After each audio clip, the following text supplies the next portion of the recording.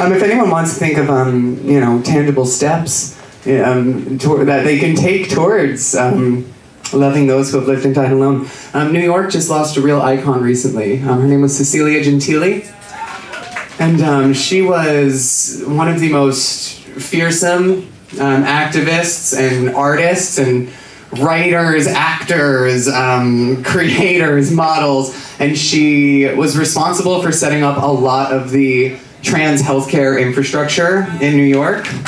She, yeah, she set up the program um, at Apicha Community Health Center. That is actually where I received my um, trans-related medical care.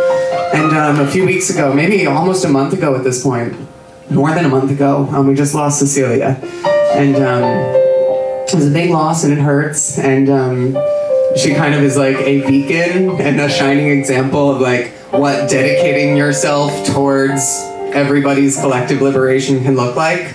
And um, there's the Cecilia Gentili a Legacy Fund um, that is kind of, you know, it's been established as now just like a standing thing that's going to house um, homeless trans youth and provide medical care for trans people, provide relief for sex workers, provide resources for immigrants. Those were Cecilia's big three trans rights, sex worker rights, and immigrant rights. And she has left behind a stunning example for us. But I should get off my soapbox because I'm just a hot idiot. and um, although I can certainly run my mouth convincingly, the ultimate truth of it all is just that um,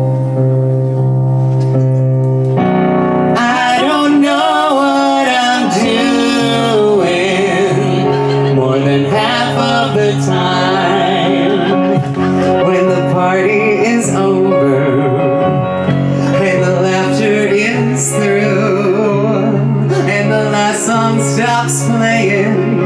I'll be thinking of you, for there's such a sweet memory. Get a good shot as it crosses my mind. I don't know what I'm doing more than half of the time.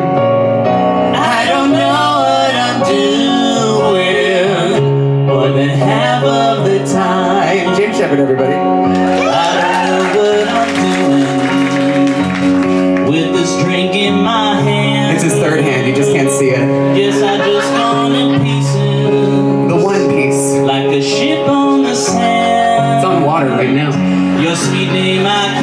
Keep while I'm losing my mind. I don't know what I'm doing more than half of the time. L two thirds. I don't know what I'm doing more than half of the time. I may never find sunshine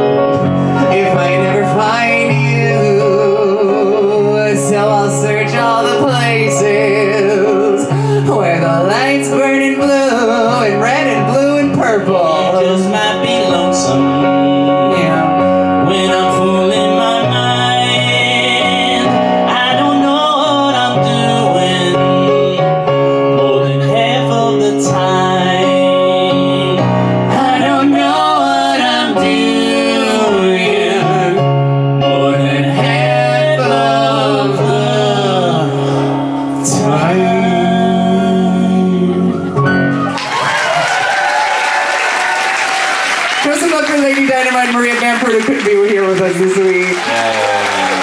It's a We love perfect, that show. it's a perfect song for that for that stupid show.